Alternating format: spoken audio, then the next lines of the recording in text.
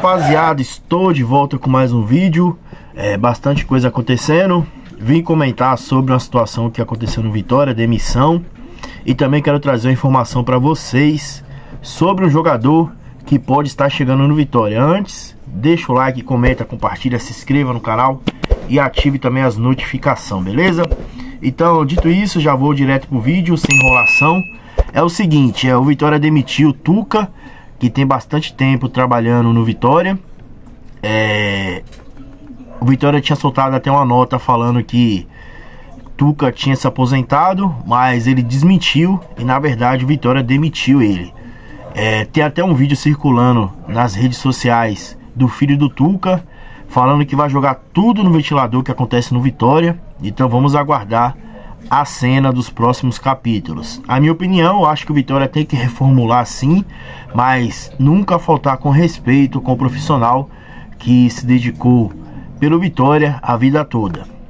E agora falando sobre o jogador que está chegando no Vitória, que pode chegar na verdade, né? É o Giovanni Augusto. O Vitória estava negociando com o jogador, a negociação estava meio travada, mas é, Giovanni Augusto está negociando a sua rescisão de contrato com o Guarani e, se ele rescindir o contrato, ficará livre para assinar com o Vitória e ser jogador do Vitória na Série B do Campeonato Brasileiro. Então, Giovanni Augusto pode chegar no Vitória, um bom jogador que já passou pelo Corinthians, Atlético Mineiro, é um jogador bem rodado que está negociando com o Vitória e pode chegar para ser uma peça bastante importante na Série B, um jogador experiente, um bom jogador o Vitória só tem que tomar cuidado para não pagar muito caro e depois se arrepender, tem que fazer um contrato ali que esteja no teto do salário do Vitória. Não pode fazer loucura que o Giovanni Augusto também não é aquele craque que vai chegar para é, fazer chover, não. É um, bom, é um bom jogador que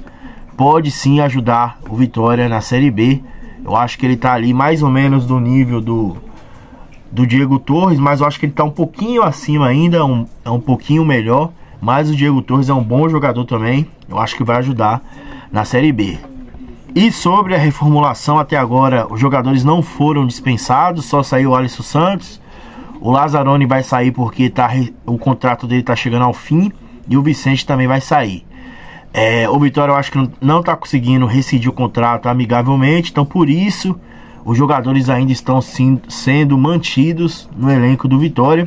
E o Vitória não tem dinheiro para pagar a multa, então se o Vitória não conseguir emprestar os jogadores para alguma equipe que é, paga o salário dos jogadores ou vender ou rescindir o contrato, os jogadores vai ficar aí e o Vitória deve contratar um jogador ou outro ali para dar uma encorpada no elenco. Essa é a verdade, infelizmente. Eu esperava que mandasse bastante jogadores embora, será uns 6, 7 e trazesse uns 7 jogadores também, mas a verdade é que o tempo está passando e até agora nada.